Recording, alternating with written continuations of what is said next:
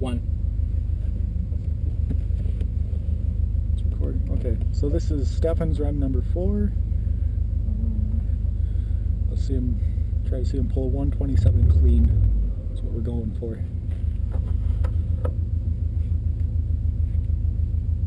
I'm thinking that really worked with you in second gear around here. I think I was going too slow around the slalom. I'm really not sure.